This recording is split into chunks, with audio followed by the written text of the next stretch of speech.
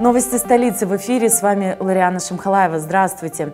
Все основные события Махачкалинской недели смотрите в нашем итоговом обзоре городских новостей. И в начале короткий анонс. И снова в школу о том, как столица готовится к 1 сентября, говорили на августовском совещании педагогов Махачкалы. Хочу обратиться к педагогам, уважаемым учителям, воспитателям, вы должны быть ориентированы не только на высокий профессионализм в деле обучения и воспитания подрастающего поколения, но и выполнять более широкую социально-педагогическую миссию. Принимать самое активное участие в реализации основных направлений муниципальной политики. Портфели от мэра и не только. К акции Салмана Дадаева «Чужих детей не бывает» присоединились и другие чиновники столичной мэрии. Предпочтение пешеходам и общественному транспорту. По улице Коркмасова снова курсируют троллейбусы.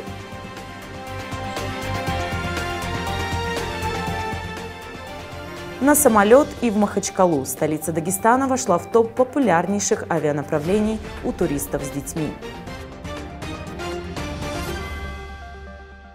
Августовская конференция педагогов столицы прошла в Махачкале. В преддверии предстоящего учебного года педагоги традиционно собираются для подведения итогов и определения перспектив на ближайшее время. В работе совещания приняли участие мэр Махачкалы Салман Дадаев, руководители ведущих вузов республики и представители городского управления образования. В фойе участники конференции ознакомились с выставкой презентации лучших проектов ученических кружков и секций. В обзорном докладе уже в зале были отмечены позитивные изменения в развитии дошкольного, общего и дополнительного образования, подведены итоги работы школ города за прошедший учебный период и ЕГЭ. Ректора вузов отметили, что в этом году наибольшее число поступивших абитуриентов именно с Махачкалы и посоветовали усилить взаимодействие школ с высшими учебными заведениями. Хотел бы, конечно, еще раз э, напомнить, что у нас э, с 1 сентября будут э, определенные новшества в образовательном процессе, это не классные уроки, посвященные патриотическому воспитанию, это поднятие государственного флага, надеюсь, что никаких курьезов с пропуском и неисполнением этой важной части патриотического воспитания у нас не будет. И также, конечно, начало дня с гимна Российской Федерации. Хочу обратиться к педагогам, уважаемым учителям, воспитателям.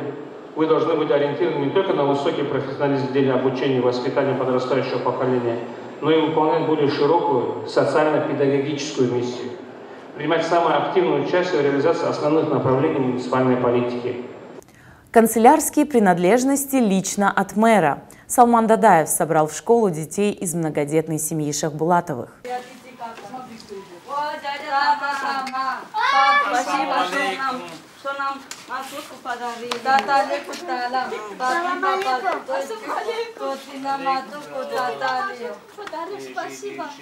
Так рада вам любим.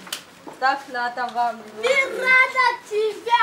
Любим. Восемь детей, которых усыновила махачкалинка Мадинат Шахбулатова к началу учебного года, полностью готовы. Напомним, в этом году ко Дню защиты детей многодетной семье городоначальник подарил микроавтобус. Салман Дадаев отметил, что намеревается помочь еще нескольким семьям перед 1 сентября и призвал всех, у кого есть возможность, подключиться к акции и помочь с приобретением школьных принадлежностей. На призыв мэра Махачкалы «Чужих детей не бывает» откликнулись и другие чиновники. Так, 50 школьников из малообеспеченных семей поселков Кихулай, Тарки и Альбурикент также собрали к 1 сентября. В канун нового учебного года к акции присоединились глава Советского района Арсен Айдиев и начальник городского управления торговли Юсуп Устарбеков. Они пожелали ребятам начать учебный год с улыбок и хорошего настроения, а меценатам, у которых финансовая возможность позволяет оказать помощь таким детям, присоединиться к акции. У нас есть четкое твердое убеждение, что чужих детей не бывает. Вот. Я как глава города напал с большой любовью, отношусь к сельникам нашего города. Очень хотелось бы, чтобы хорошо учились школе.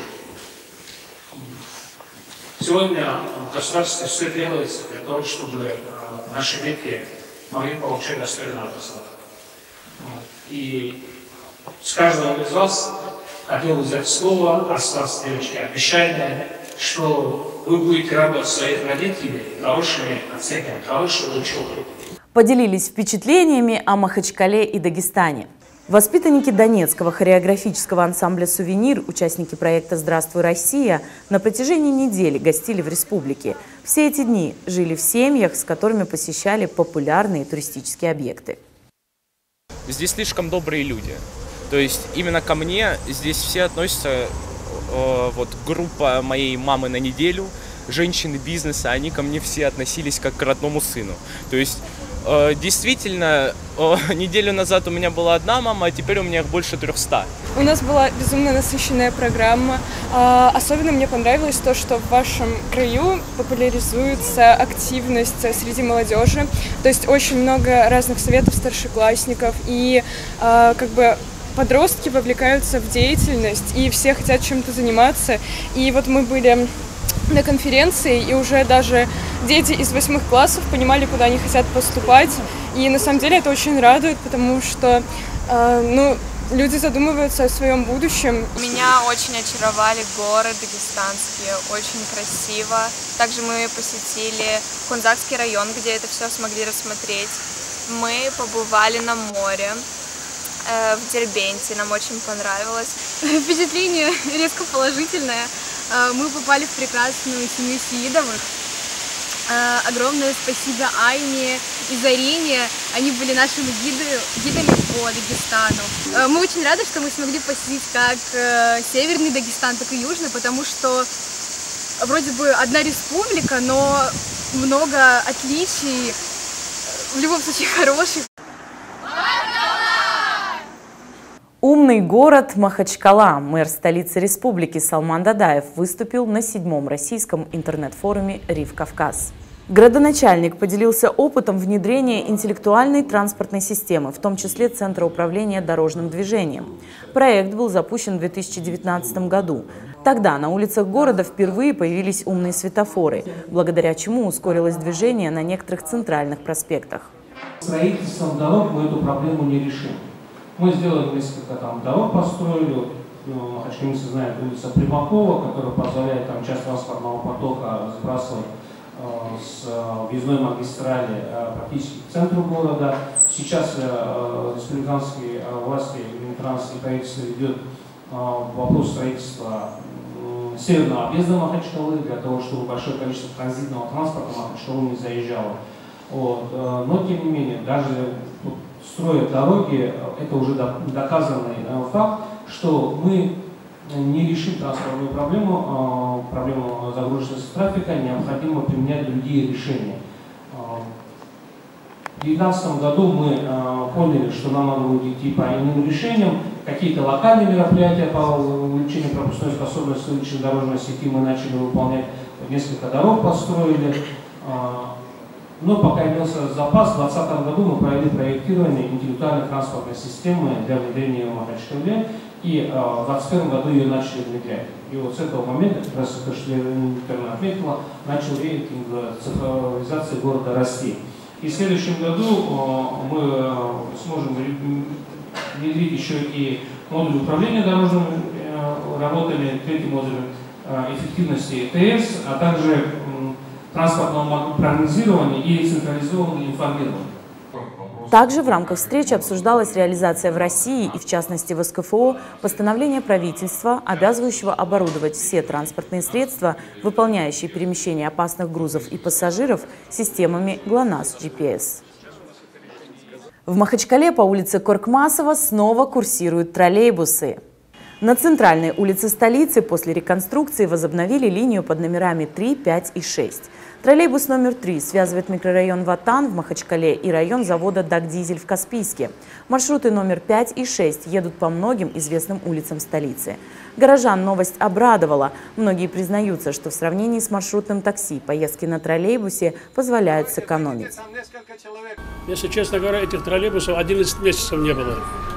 Вот по этому маршруту. Пятерка, шестерка и тройка. Не было этих маршрутов. Вот сейчас вот пустили, и то мало. Понимаешь, почему? Потому что зарплата, во-первых, маленькая. Понимаешь? Зарплата маленькая. Поэтому водители, они эту работу бросают и уезжают в другие города работать. Вот. А пенсионерам, пенсионерам, да, ездить на маршрутках, это очень накладно. Понимаешь, чтобы поехать в один конец и, и обратно вернуться, 54 рубля надо платить. А здесь 30 рублей туда и обратно. Есть же разница?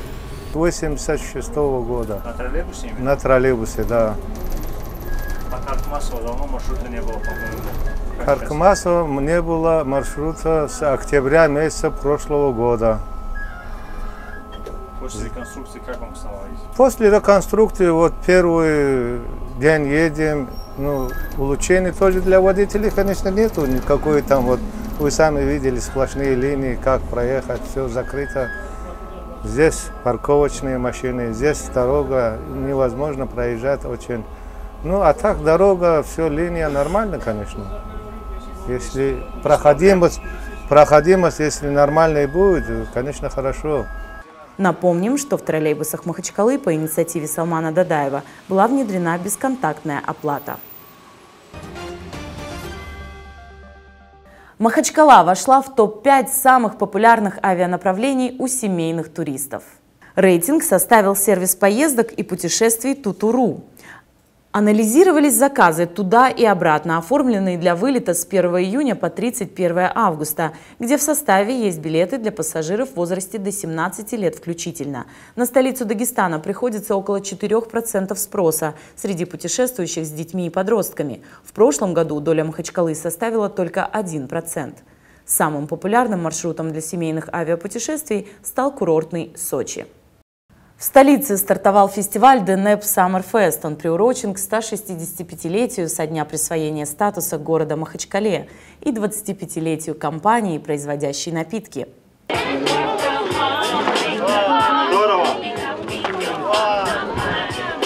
Здорово! У нас ничья! В рамках трехдневного мероприятия пройдут фуд-ярмарки, творческие мастер-классы, конкурсы и спортивные соревнования, ориентированные как для детей, так и для взрослых. Очень прекрасное настроение, очень прекрасная атмосфера, дружественная, столько молодежи. Что вы ожидаете от таких фестивалей? Нужны ли они Махачкале? Очень это, это как бы э, дает э, хорошее позитивное настроение народу, как бы они подтягиваются к таким местам, любят. Наш народ любит такие мероприятия, поэтому если как можно чаще можно было бы такое проводить а по всяким, э, по всякого рода событиям, повод- поводам. Муслим Махачкала в этом году в сентябре отмечает 165-летие. Какие-то поздравления, пожелания махачкалинцам, самому, самому городу.